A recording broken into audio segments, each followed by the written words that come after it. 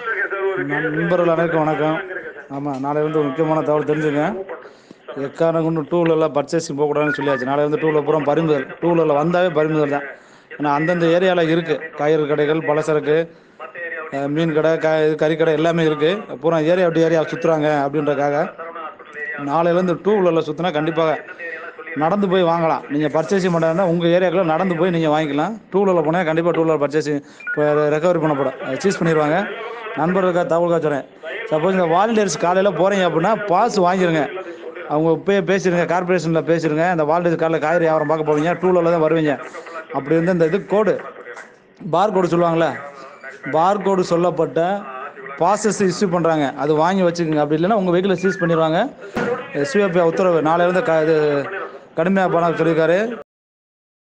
Hi friends corona தொற்று பரவல் நாளுக்கு நாள் அதிகமாயிட்டு வருது.